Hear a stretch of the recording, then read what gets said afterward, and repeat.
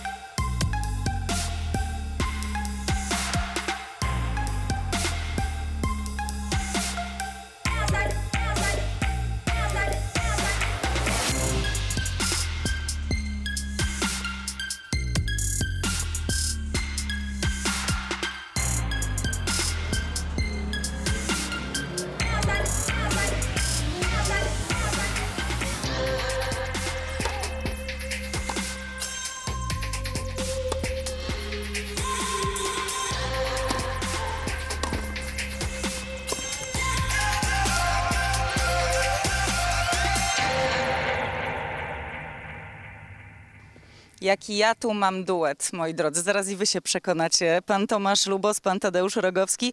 E, No, amatorzy, aczkolwiek bardziej powiedziałabym miłośnicy, zakochani w tenisie, a do tego uczestnicy Ligi Tenisowej KS Górnik Bytom. Dzień dobry. Dzień dobry. Ściągnęłam was z tego kortu, tak naprawdę jesteście niesamowici. Dziękuję za to, że e, zechcieliście z nami tutaj porozmawiać, z nami, czyli ze mną i oczywiście z naszymi fantastycznymi widzami. Panowie, co dla was oznacza gra w tenisa i sam tenis? Hmm, Ja mogę powiedzieć, że wszystko tak naprawdę. Y, Każdą wolną chwilę spędzamy na korcie. Gramy single, gramy deble, gramy mixty. Y, Robimy wszystko, żebyśmy byli jak najwcześniej na korcie.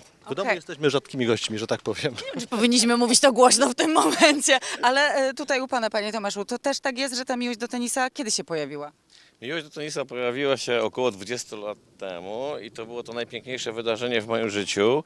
I od tego czasu, tak jak powiedział tutaj kolega Tadeusz, gramy, gramy mixty, gramy single, gramy deble, tworzymy własne ligi. E, W Radzionkowie mamy taką Cider Ligę, mamy w Laryszowie ligę, mamy w Bytomiu ligę. Górnik Bytom tutaj przoduje w tym amatorskim tenisie. I co jest pięknego w tym tenisie, że tenis amatorski to jest cztery pokolenia. Grają z nami chłopaki, którzy mają po 15 lat, ale grają z nami również nasi przyjaciele, którzy mają po 78 lat.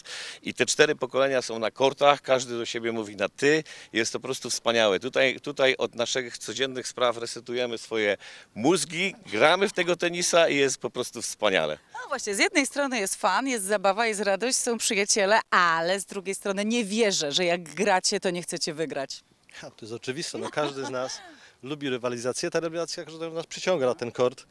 Jesteśmy kolegami poza kortem, spędzamy bardzo dużo czasu, natomiast na korcie no, jest jakaś tam przyjaźń, ale rywalizacja jest ogromna. Każdy chce wygrać, bo o to tu chodzi. Oczywiście, a u pana jak tam miłość się rozpoczęła do tenisa? Oj, też bardzo dawno. Chyba już w tej chwili jakieś 28 lat gram w tego tenisa. Oczywiście raz lepiej, raz gorzej.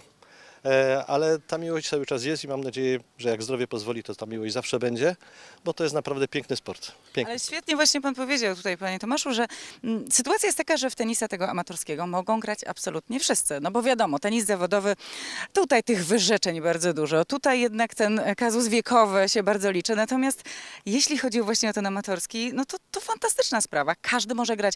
Więc e, takich najmłodszych zawodników, nie wiem, zarażacie kogoś ze swojej rodziny, e, znajomych? Oczywiście, jak najbardziej. Tutaj, jeżeli tylko możemy i rodzina, i przyjaciele, wszystkich tutaj zapraszamy na kort. Tej infrastruktury jest coraz więcej, sam, widać sam po Górniku Bytom, jak się rozbudowuje. Na pewno sukcesy Igi i Huberta wszystkich tutaj też, że tak powiem, na te korty ściągają, ale, ale, ale tak jak powiedziałem, tej infrastruktury jest bardzo dużo, natomiast jeszcze oczywiście chcielibyśmy więcej, żeby w każdym mieście było taka ilość kortów, żeby każdy, kto, kto tylko ma kawałek ochoty na te granie w tenisa, mógł wziąć tą rakietę, wejść na kort i wtedy jesteśmy pewni, że on w tego tenisa już będzie grał. Słuchajcie, skoro gracie już tak długo, no to zastanawiam się, czy wy widzicie, że faktycznie przez to, że mamy tak cudownych, rewelacyjnych zawodników, to tych amatorów, którzy grają jest więcej? Widzimy zdecydowanie. Zdecydowanie tak, no wiadomo, że każde zwycięstwo y, zawodnika profesjonalnego gdzieś tam ciągnie do tego sportu. Jest coraz więcej młodzieży, coraz więcej ludzi młodych, ale też jest oczywiście ogromna, nie, nie powiem, że garstka, ale cała grupa, rzesza ludzi starszych, 60+, plus, którzy po prostu na porcie no, żyją, bawią się, jeżdżą po wszystkich turniejach. Naprawdę jest fantastycznie. No to teraz przejdźmy od tych, y, którzy kochają tenis, ale amatorsko, do tych, którzy kochają tenis zawodowo. Zobaczcie, co się wczoraj i dzisiaj działo, a my za chwileczkę do naszej rozmowy wrócimy, dobrze?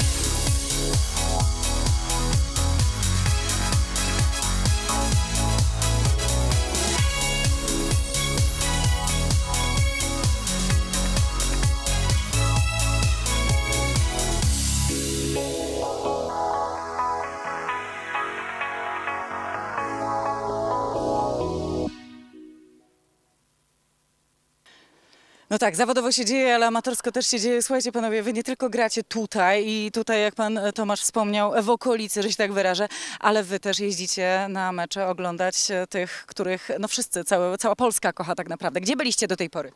Znaczy ja jeżdżę grać. Kolega jeździ oglądać bardzo często, a ja jeżdżę grać. Mamy takie tutaj ligi Polskiego Związku Tenisa i te mecze się odbierają, odbywają w, całym, na całym, w całej Polsce. Teraz na przykład jest piękny turniej, który będzie w Kołobrzegu. Teraz są Mistrzostwa Polski w Gdyni. Wszyscy nasi koledzy, lepsi, gorsi, każdy chce nam się pokazać, każdy chce grać. Każdy chce pomąchać tego, tego, tego takiego naprawdę fajnego, już półzawodowego tenisa. Chociaż jest to oczywiście tenis amatorski. Pięknie. Gdzie pan już był oglądać naszych wielkich? E, powiem tak, do zamknięcia Wielkiego Szlema został mi tylko Wimbledon. E, w styczniu byłem w Australii na Australian Open. Rzeczywiście są to niesamowite wydarzenia. Są to wielkie, wręcz miasto, gdzie się wszystko, żyje się cały czas tenisem. E, pierwsza setka ATP, pierwsza setka WTA. Praktycznie można zapomnieć o Bożym świecie. Jest przewspaniale. Coś, Natomiast coś czuję, że moglibyśmy tak jeszcze mówić, ale ja wiem, że tutaj, moi drodzy, jest jeszcze jedna bardzo ważna kwestia do poruszenia. To znaczy, ja powiedziałabym dwie. Można panowie pozdrowić. Najpierw tutaj pytanie, czy kogoś pozdrawiamy? No jasne, że tak. Pozdrawiamy szczególnie mojego wnuczka, który niedawno wrócił z wakacji. Był bardzo chory, a chory, ale też już jest zdrowy, więc wszyscy się cieszymy, że już jest na polskiej ziemi jest wszystko ok. Pozdrawiamy, a teraz specjalne życzenia, bo jutro, jutro ktoś ma urodziny. Jutro jak najbardziej. Moja kochana teściowa jutro ma 90 lat, dlatego chciałem Cię, kochana teściowo, Pani Maria Siłka z Miechowic pozdrowić, wykorzystać to, że jesteśmy na wizji. Kochana teściowo, wielkie całusy. Wielkie całusy również od nas i o godzinie 10.55 jutro spotykamy się z wami. Właśnie tutaj będziemy na kortach. Do zobaczenia, dzięki panowie. Dziękujemy ślicznie.